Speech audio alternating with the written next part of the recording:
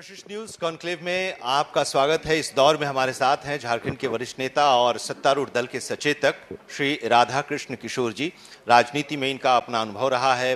विधानसभा में एक लंबे समय से ये रिप्रेजेंट कर रहे हैं। इस इलाके के, की हर समस्या को बहुत ही करीब से इन्होंने देखा है और उसके समाधान के लिए भी इन्होंने कोशिश भी की है। कई बार सफलता भी मिली है। कुछ समस्याएँ अभी जैसे अभी हम बात भी कर रहे थे। बी डी राम साहब से उन्होंने कहा, क्या आकांक्षाएँ बनी रहती हैं और आकांक्षाएँ बनी रहनी होनी चाहिए और जब आकांक्षाएँ खत्म हो जाएँगी तो इसका मतलब कि कोई समस्या नहीं, लेकिन समस्याएँ हैं और उसका समाधान भी होना चाहिए। और उसी की वजह से आज हम इस कॉन्क्लेव में हमने ये विषय भी रखा है, पलामू में पलायन और रोज़गार की जो संभावनाएँ हैं, वो कहाँ तक रोज़गार की संभावनाएँ पैदा हो पाई हैं और पलायन कहाँ तक रुक पाया है? उद्योगों की क्या स्थिति है? आज यही हम समझने की कोशिश करेंगे और राजनीतिक दल से जुड़े हुए हैं तो राजनीतिक सवाल भी होगा। लेकिन पहले पाँच साल का शासनकाल केंद्र में भी और झारखंड में भी एक दल की सरकार रही और झारखंड के गठन के बाद ये पहली बार ऐसा रहा कि एक मुख्यमंत्री अपना पाँच साल का कार्यकाल पूरा कर पाया और उस सरकार में सत्ता पक्ष के सचेतक के तौर पर विधानसभा में विधायक भी हैं, सदस्य भी हैं राधा कृष्ण किशोर जी। पाँच साल कैसा रहा? कितनी उम्मीदें पूरी हुई? कितनी समस्याओं का समाधान कर पाए पलामू में, अपने क्षेत्र में राधा कृष्ण किशोर जी? पाँच साल राज्य सरकार की उपलब्धि, एक जनप्रतिनिधि होने के नाते मेरी उपलब्धि, इसकी चर्चा बाद में मैं करूँगा। पहले कशिश परिवार के प्रति मैं आभार व्यक्त करता हूँ। राष्ट्रीय स्तर पर कई कॉन्क्लेव को घर में बैठ के सुना करते थे। एनडीटीवी, आज तक देश भर के नेता, विभिन्न राजनीतिक दल के लोग और बैठे बैठे मैं जब सुनता था तो मुझको लगता था कि ये अवसर कभी मुझको मिलेगा या नहीं मिलेगा। आज कशिश ने इसे ऑर्गेनाइज किया है।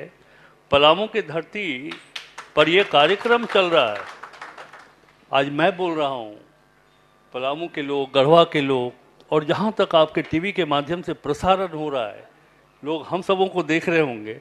मैं बड़ा ही रोमांचित हूँ। मेरा रोम रोम पुलकित हो रहा है आज कि एक राष्ट्रीय स्तर के कॉन्क्लेव पर जब उन नेताओं को मैं देखता और सुनता था और अच्छी बातों का अनुकरण करने का प्रयास करता था, आज आपके माध्यम से राजनीति में नए आने वाले लोग, सार्वजनिक जीवन में नए आने वाले लोग हम सबों को सुनेंगे और उसका अनुकरण करेंगे। इसलिए आपके प्रति आभार। आपने पूछा, पाँच वर्षों में श्री रघुवर दास जी के सरकार की कार्य संस्कृति पाँच वर्ष वो पूरा करने जा रहे हैं। मैंने पहले भी सरकारों को देखा है। और ये पाँच वर्ष भारतीय जनता पार्टी नेतृत्व वाली रघुवर दास की सरकार को भी मैंने देखा है। देखिए, एक चीज़ में बहुत गंभीरता से और राजनीतिक बातों से अलग हट करके कहना चाहता हूँ। देखिए, किसी भी गवर्नमेंट, मैंने प्रारंभ में ही कहा था, जब ये राज्य अलग हुआ था 2000 में तो मैंने कहा था कि अब एक ऐसे सरकार की आवश्यकता है जिसके पास विजन हो। विजन के साथ साथ उसके अंदर प्लानिंग भी हो। और प्लानिंग कितने बढ़िया ढंग से इम्प्लीमेंट हो रहा है, ये तीनों चीज़ अगर किसी बढ़िया नेतृत्व करने वाली सरकार के पास हो तो मैं समझता हूँ कि बेहतर ही कार्य हो सकेगा। मैंने पहले देखा है, झारखंड अलग बना, कोई विज़न नहीं था।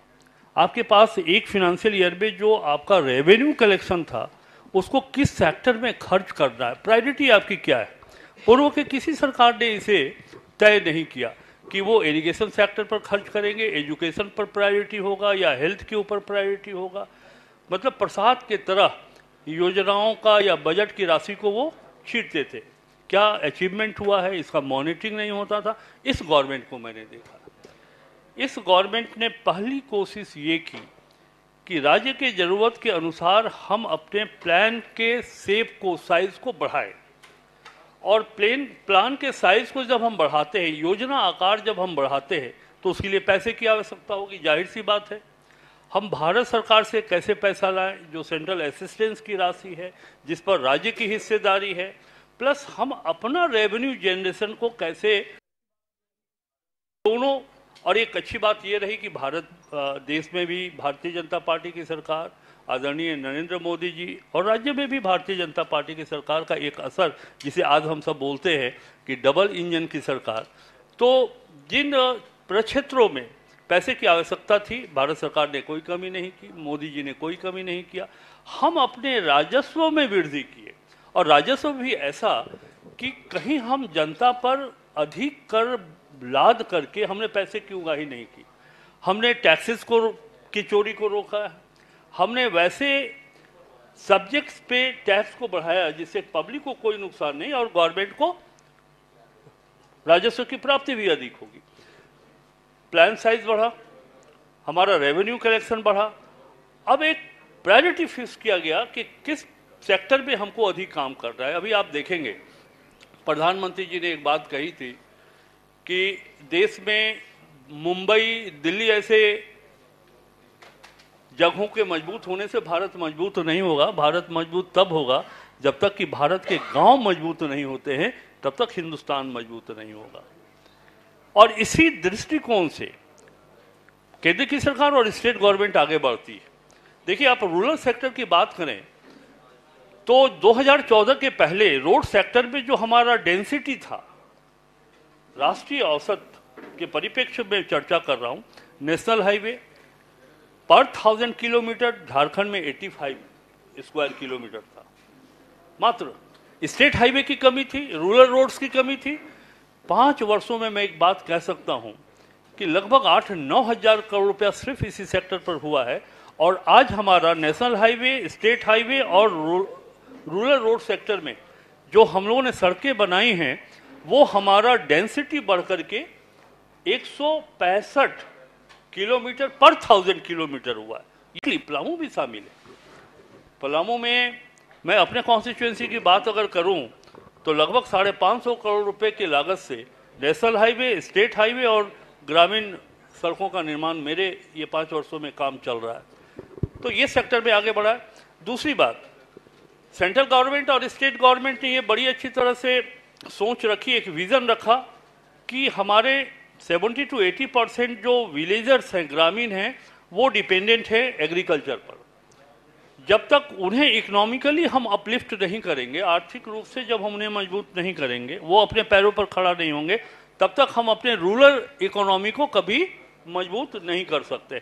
और इसी दृष्टिकोण से आप देखें, मुख्यमंत्री कृषि आशीर्वाद योजना भारत सरकार की जो प्रधानमंत्री कृषि सम्मान योजना और इरिगेशन पर लोगों ने फोकस किया है।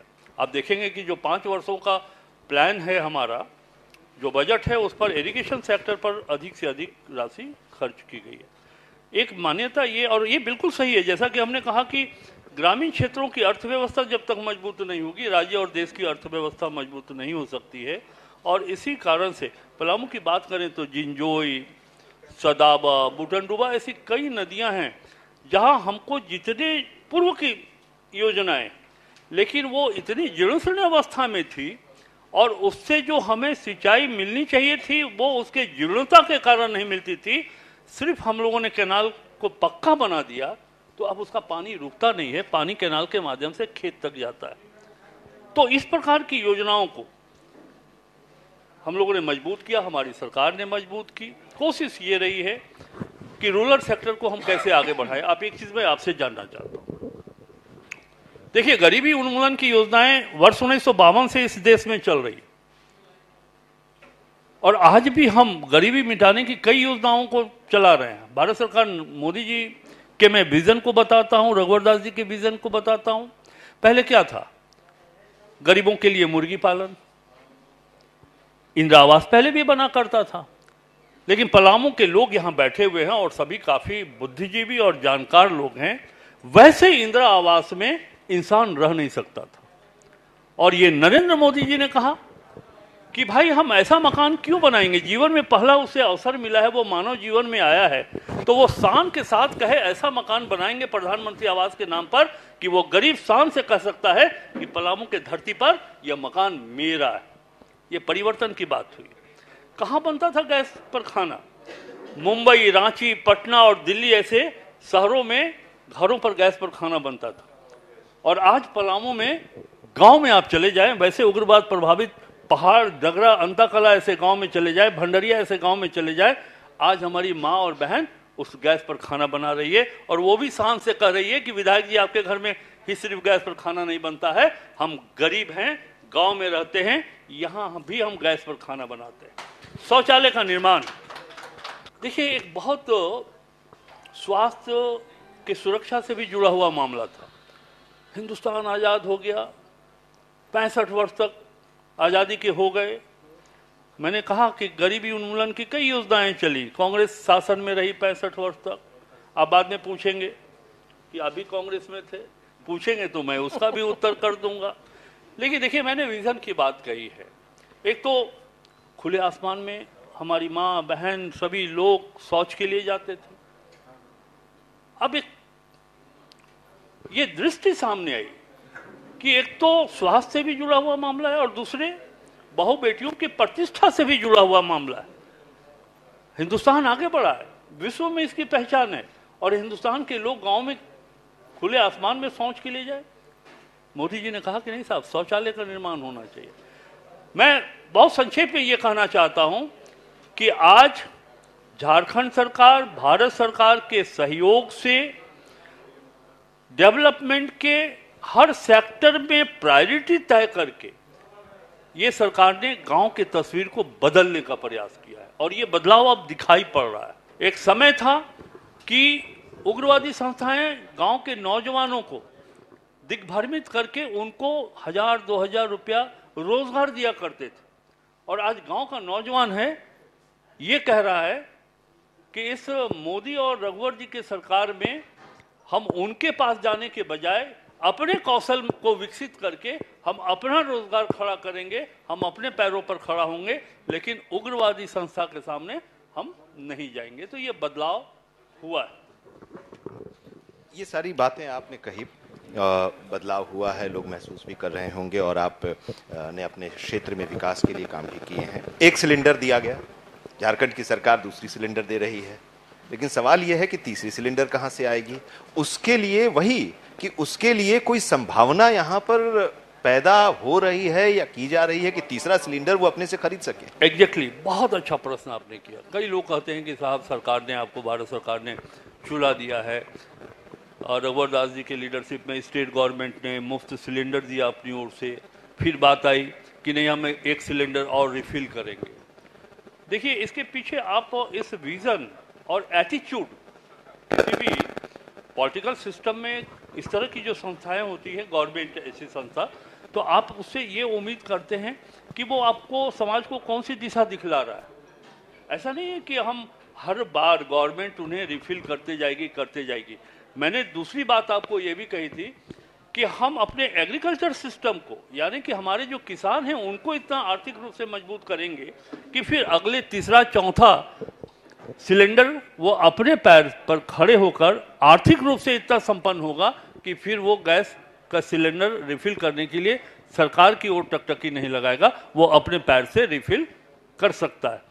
तो समानांतर रूप से एक तरफ़ जब हम उन्हें योजनाओं के माध्यम से लाभान्वित कर रहे हैं तो दूसरी तरफ़ सेंट्रल गवर्नमेंट और स्टेट गवर्नमेंट के उस विजन के कारण या फिर जो हमारी प्लानिंग है, हम जो इकोनॉमी डेवलप कर रहे हैं रूरल एरियाज़ में, उसके माध्यम से वो लोग सशक्त होंगे और फिर आगे बढ़ेंगे। राधा कृष्ण जी, आपने ठीक कहा कि जो डबल इंजन की सरकार है, उसका फ़ायदा झारखंड के लोगों को मिल रहा है। पलामू की स्थिति बहुत सुधरी, इस बात से कहीं इनकार नहीं है कि अब रात को भी निडर होकर आप जा सकते हैं रांची। लेकिन पाँच साल का आपने अपने उपलब्धियाँ गिनाई है, लेकिन फिर भी देर तो हुई, इस बात को मान रहे हैं आप। एक सवाल आपसे बहुत है कि चौदह दिनों के लिए आप मंत्री बने थे। एक तो चलिए उस वक्त सरकार नहीं बन पाई नहीं चल पाई। चौदह दिनों में आपने एक विजन शुरुआत की थी। आपको मिला भी था जल संसाधन जो कि यहाँ के लिए भी एक बहुत बड़ी चुनौती थी। पेयजल एवं स्वच्छता पेयजल पेयजल एवं स्वच्छता विभाग सॉरी हाँ, पेयजल एवं स्वच्छता मिला था। तो उसका कितना मलाल है? इस सरकार में भी बात आती रहती थी कि राधा कृष्ण जी बस अब मंत्री बनने ही वाला है एक कोटा अभी भी खाली है।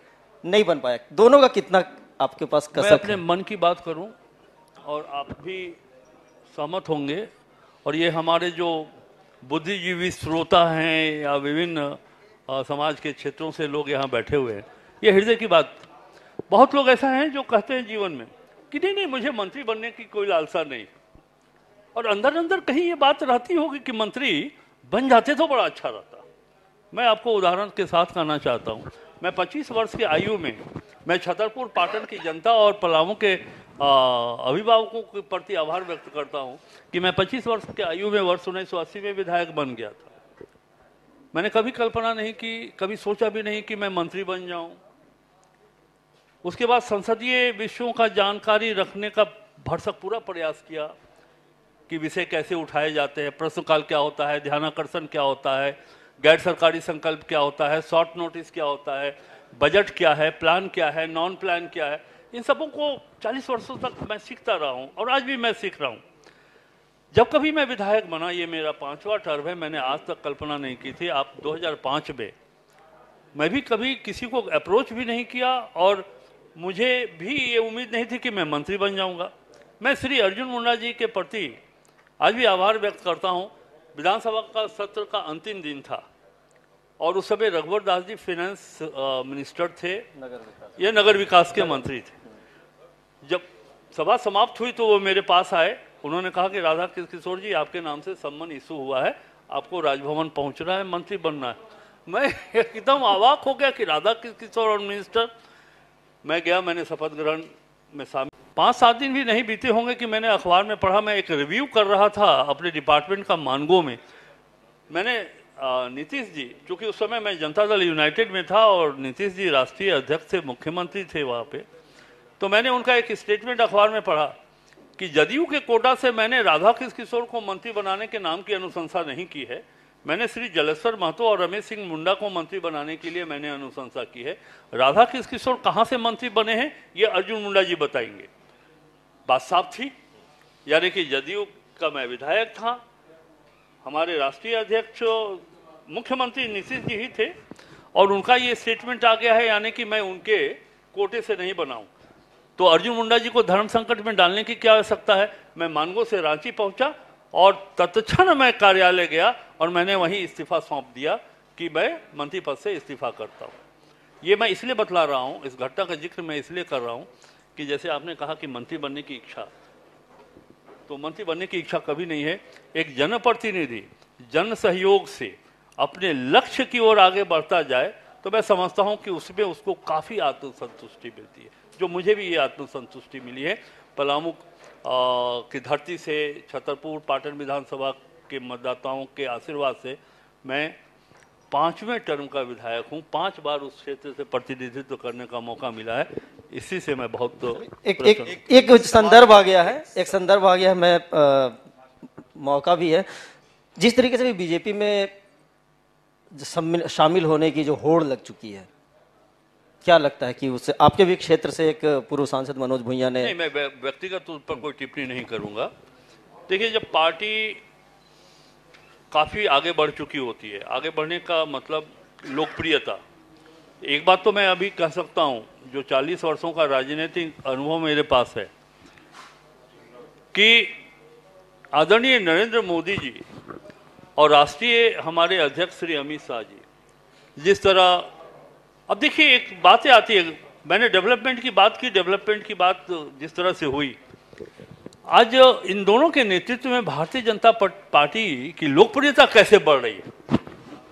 पाकिस्तान पुलवामा में हमारे जवान सैनिकों के ऊपर हमला करता है।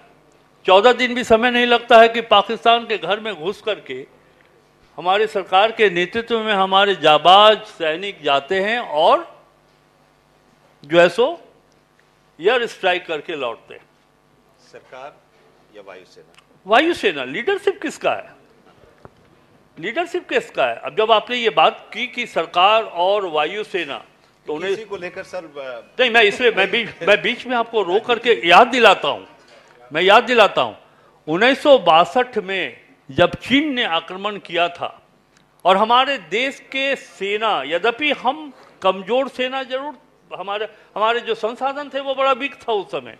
नया नया हिंदुस्तान आज़ाद हुआ था लेकिन देश के प्रधानमंत्री ने कहा नो अटैक और आज हमारे प्रधानमंत्री बोलते हैं कि छेड़ोगे तो छोड़ेंगे नहीं ये फ़र्क है। ये फ़र्क है। उसके बाद मैं एक चीज़ में एक एक चीज़ में और ये कर रहा हूँ। आपकी बात पूरी नहीं हुई मेरा उत्तर भी पूरा नहीं होगा। देखिए आज देश के जन जन तक भारतीय जनता पार्टी नरेंद्र मोदी जी की लोकप्रियता है। लोग पार्टी से जुड़ना चाहते हैं जुड़ भी रहे और खासकर जब चुनाव का वक्त आता है तो लोग इस पार्टी से उस पार्टी उस पार्टी से उस पार्टी ये बात करते हैं लोग। ये स्वाभाविक है और सामान्यता मैं जानता हूँ इस बात को कि यह सामान्य प्रक्रिया लेकिन, अगर हम एकदम टाइम सर्वर है, हम आपकी नीतियों को मानते ही नहीं, हम आपके विचारधारा से एकदम दूर रहे, हमारी कार्य संस्कृति पार्टी के प्रति कोई भी पार्टी हो, उसे मेल नहीं खा रही हो। लेकिन अगर हम सिर्फ़ किसी पद पर पहुँचने के लिए, विधा, विधायक और सांसद बनने के लिए अगर हम पार्टी बदल रहे तो ये अच्छी बात नहीं होगी। और दूसरी बात, राजनीतिक संगठन से भी हम यह अनुरोध करेंगे कि अगर कोई दागदार छवि का है, यदि किसी के ऊपर करप्शन के चार्जेज यदि कोई ऐसा व्यक्ति जो लोकसभा के सदस्यता से इसलिए बर्खास्त कर दिया गया है कि उसके ऊपर प्रश्न पूछने के एवज में पैसा लेने का मामला आता है तो ऐसे लोगों को किसी भी राजनीति देखिए ये राइट टाइम है। जब हम एंटी करप्शन की बात करते हैं तो ऐसे राजनीतिक व्यक्तित्व को राजनीतिक में प्रवेश न हो यह निर्णय लेने का सही वक्त है। ठीक है यही तो है कि चाल चरित्र और लेकिन पार्टी में शामिल तो हो गए। शुरुआत तो यहीं से हम करें और अपने से ही करें। सवाल कोई क्वेश्चन हाँ मैं एकदम तैयार हूँ। प्लीज़ सबसे पहले तो मैं कशिश देश का आभार व्यक्त करती हूँ इस कार्यक्रम में लाने के लिए और इस- हम सभी जानते हैं कि नरेंद्र मोदी जी बहुत अच्छा काम कर रहे हैं महिला सशक्तिकरण के विषय में यह अलग बात है कि पूरे पूरे इस हॉल में एकमात्र मैं ही महिला हूँ लेकिन मेरा सवाल आपसे है सर। सांसद महोदय से मुझे पूछना था ऐसा हो पाया कि कर नहीं पाया सवाल। तो मेरा सवाल आपसे है कि महिलाएँ जो अनपढ़ महिलाएँ हैं जो ग्रामीण महिलाएँ हैं वो और जो पढ़ी लिखी अर्ध बेरोजगार महिलाएँ हैं उसके लिए आपकी सरकार की क्या योजनाएँ हैं? क्या ये उद्योग के क्षेत्र में या रोज़गार के क्षेत्र में? आपने क्या मैं समझता हूँ इस कॉन्क्लेव के पास बहुत समय नहीं होगा। मेरी बड़ी दिल की इच्छा थी कि बहुत सारे विषयों को मैं शेयर करता इस मंच के माध्यम से। ये बहुत बड़ा प्लेटफॉर्म है जहाँ आप अपनी बातों को रख सकते हैं या फिर हमारे व्यूवर्स भी हमसे पूछ सकते हैं। देखिए, कई योजनाएँ हैं और सरकार सिर्फ़ योजनाओं पर काम ही नहीं कर रही है। सरकार की दिली इच्छा है कि जो नारी शक्ति है, उसको कैसे मज़बूत करें हम। आप अगर गाँव में जाकर के देखिएगा तो जो हमारे सखी मंडल है, सखी दीदी है जिस तरह से उनको स्ट्रांग किया जा रहा है और उनके माध्यम से वहाँ के महि, अन्य महिलाएँ जो शिक्षित नहीं हैं या जो आर्थिक रूप से बहुत कमज़ोर है उनको किस तरह विकसित किया जा रहा है? अगर समय रहता तो मैं एक एक बिंदुवार आपको बता सकता था लेकिन मैं बताऊँ आपको मेरे उद्योग की बात एक- कर रही हूँ, सर। एक उद्योग- उद्योग की क्या योजना एक मिनट में बताता हूँ। देखिए पहले मैं उद्योग पर बता दूँगा लेकिन वो जनरल औद्योगिकरण की बात होगी। हम महिलाओं की आर्थिक स्थिति के बारे में और उनको कैसे आर्थिक रूप से सुदृढ़ किया जाए, ये सखी दीदियों को मैंने देखा। छतरपुर का एक गाँव है काला पहाड़। और वहाँ पे उस गाँव की दीदियाँ बाज़ार लगा रही लोग सब्ज़ी उत्पादन कर रही हैं। लोग कुटीर उद्योग के माध्यम से कपड़ा बना रही हैं। और इस प्रकार के कई काम लोग कर रही हैं। और साप्ताहिक बाज़ार वहाँ महिलाएँ लगाती हैं और अपने द्वारा निर्मित उत्पादित वस्तुओं का उस बाज़ार में वो विक्रय करती तो इस प्रकार से, देखिए एक जो औद्योगिकरण की बात हुई, मैं चाहता हूँ कि एक मिनट में समय ज़रूर लेना चाहूँगा। अब मैं आपसे आग्रह कर रहा हूँ कि मुझको रोकिएगा नहीं। एक चीज़ है कि पलामू में, देखिए, तीन बड़ी समस्या थी। एक तो हमारे पास तीन फ़सल कभी नहीं होता था। हर साल हमारे किसान सुखाड़ का सा दंश झेल झेलते रहे। पलामू के बड़े, लघु या सीमांत किसान, सभी की आर्थिक स्थिति बड़ी दयनीय है। एक तो उसको हमको आगे बढ़ाना है, हमारी सरकार को आगे बढ़ाना है। दूसरा, नौजवान बड़ी, के सामने जो बेरोजगारी की समस्या एक बहुत बड़ी समस्या है। उसको कैसे आगे बढ़ाए? बहुत कहना, बहुत लोग आते हैं इस प्रकार के मंच पे ये बोलेंगे कि हम ऐसे औद्योगिकरण करेंगे, वैसे औद्योगिकरण करेंगे। एक चीज़ जो ease of doing business sir, मैं प्रोफेसर अपने अभिभावक को कहना चाहता हूँ प्रोफेसर सुभाष चंद्र मिश्रा जी सामने बैठे हैं। मैं अपने छात्र जीवन में बहुत कुछ आपसे सीखा है। सर, ये बात है कि ईज ऑफ़ डूइंग बिज़नेस में आज झारखंड का नाम, रघुवर दास जी ने जिस तरह व्यवस्था की है, पूरे देश में एक और दो ऐसे राज्य हैं जो पहले स्थान पर हैं ईज ऑफ़ डूइंग बिज़नेस में। ईज ऑफ़ डूइंग बिज़नेस का पूरा अर्थ क्या हो सकता है? मायने क्या हो सकते हैं? अगर कोई एक व्यक्ति लगाना चाहे, कोई इंडस्ट्रीज़ तो एक तो पहले, सबसे पहले बात यह है कि पलामू में जितने खनिज पदार्थ हैं, उस पर आधारित कौन सा खनिज हम लगा सकते हैं, ये जानकारी भी लोगों को नहीं। तो एक हम अपने उद्यमियों को इतना मज़बूत कर दें ज्ञान के माध्यम से कि तुम लाइम स्टोन से ये काम कर सकते हो, ग्रेफाइट से आप ये काम कर सकते हैं, इस पर आधारित आप लगा सकते हैं। तो सबसे पहले ज़रूरत इस बात की है कि उद्यमियों को इस बात की जानकारी। और दूसरी बात ये मैं मानता हूँ कि फिर जो इंफ्रास्ट्रक्चर चाहिए, उनको लैंड चाहिए, उनको पावर चाहिए, उनको पानी चाहिए तो ये अब आपको आसानी से मिल जाएगा। लेकिन अब एक पलामू के गरीब नौजवान अगर चाहते हैं कि हम छोटा मोटा उद्योग लगाएँ या बड़े पैमाने पे उद्योग लगाएँ, हम अपना रोज़गार का सृजन खुद करें यहाँ पे बैंक की भूमिका बड़ी महत्वपूर्ण हो जाती है। बैंक को असिस्ट करना पड़ता है। और मैं एक बात इस मंच से बड़े खुले रूप में कहना चाहता हूँ कि पलामू के जो व्यवसायिक बैंक हैं, जिस अनुपात में जो उनका सीडी रेशियो होना चाहिए क्रेडिट डिपॉजिट रेशियो वो हमारे लोगों को वो रेशियो में फाइनेंस लोग नहीं कर पाते। ये सीडी रेशियो हमारे पलामू जिला का बड़ा कब है। कई नौजवान चाहता है कि हम रोज़गार खोले, लेकिन बैंक से जब वो सपोर्ट लेने के लिए जाता है तो बैंक से वो सपोर्ट उसको नहीं मिल पाता है।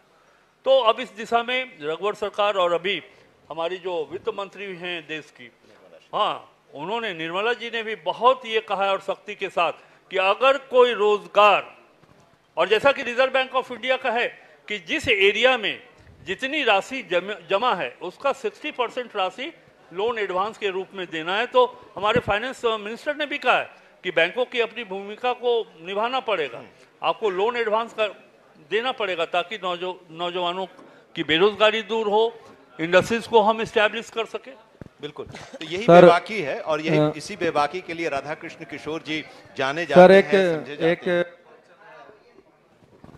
अभी हमारे पलामू में जो रोज़गार की बातें आ रही हैं हमारे संसद थे इन्होंने ये एक्सेप्ट किया कि जो स्थिति और जो स्पीड रोज़गार हो वो हम नहीं कर पा रहे हैं तो मेरा ये कहना था, सर, कि आज मुख्यमंत्री भी हमारे, सांसद भी बीजेपी के विधायक भी बीजेपी के, यहाँ के मेयर भी बीजेपी डिप्टी मेयर भी बीजेपी के, और हमारे प्रधानमंत्री भी बीजेपी के। तो इससे अच्छा समीकरण क्या होगा, जो कि इतनी कम रफ्तार से हमारे चल रही है और रोज़गार की बात कर रहे हैं अच्छा मुझे नहीं लगता कि भविष्य में कोई समीकरण होगा। और दूसरी चीज़ से रोज़गार की है तो आज भी हमारे यहाँ की महिलाएँ, आज भी हमारे यहाँ के लोग दूसरे राज्यों में पेट भरने के लिए सर जाते हैं जो बहुत ही निंदनीय विषय है। यहाँ अगर हम मेडिकल कॉलेज की बात करते हैं इंजीनियरिंग की बात करते हैं बिल्कुल तो कहाँ तक वो मतलब ईमानदारी से इस बातों को हो गई हो गई आपकी बात आ गई। मैं एक चीज़ बहुत गंभीरता से कहना चाहूँगा कि देखिए गवर्नमेंट के पास प्लानिंग है। गवर्नमेंट गाँव के लोग गाँव में रहें वहीं रोज़गार का सृजन करें बाहर नहीं जाएँ। सरकार के पास इतनी नौकरियाँ नहीं है, इतने पद नहीं है कि सबको वहाँ पे रोज़गार दिया जा सके। इसलिए पूरा फोकस है कि रूरल एरियाज़ के जो हमारे महिलाएँ हैं या फिर अर्बन एरिया के भी, या जो नौजवान हैं, उनको कैसे रोज़गार दिया जाए, कैसे वो अपने पैर पर खड़े हों। एक चीज़ मैं आपसे आग्रह करूँगा कि इतनी बातों को करने के पहले आपके अंदर जो कौशल है, उसको विकसित करिए। आप किस दिशा में काम करना चाहते हैं? देखिए, हम जनप्रतिनिधि हैं। यहाँ हमारे किसी भी संगठन के लोग हों, लेकिन ये हम जनप्रतिनिधियों का दायित्व बनता है, एक बार आप आगे बढ़ जाइए, अपने अंदर का जो कौशल है उसको विकसित कर लीजिए और कहिए कि हमको ये काम करना है, उसके बाद हमारी सरकार जनप्रतिनिधि की जिम्मेवारी होगी कि हम आपका कदम आगे बढ़ाने में हम सहयोग देंगे। चलिए अब सवाल तो बहुत हैं लेकिन वक्त की भी कमी है। आ, यही है बेबाकी और इसी बेबाकी की वजह से जाने भी जाते हैं और जब भी संकट में पार्टी या सरकार दिखाई देती है तो राधा कृष्ण किशोर जी उस पार्टी को और सरकार को याद आते हैं और सदन में डिफेंड करते हुए दिखाई देते हैं और बड़ी बेबाकी से अपने ही इलाके के अपने ही सरकार के स्वास्थ्य मंत्री के दावों को खारिज करते हुए भी दिखाई देते हैं सदन में कि कुपोषण और एनीमिया को जब कहा जाता है कि नहीं है तो राधा कृष्ण किशोर अपने ही स्वास्थ्य मंत्री को कहते हैं कि ये आपका दावा गलत है और ये है। बहुत बहुत शुक्रिया हमारे साथ जुड़ने के लिए और इस कॉन्क्लेव में हमारी तरफ़ से एक उपहार और एक संदेश भी, पेड़ लगाओ और पर्यावरण बचाओ का ये संदेश और एक मोमेंटो हमारे कशिश परिवार की तरफ़ से। इस कॉन्क्लेव में आने के लिए बहुत बहुत स्वागत।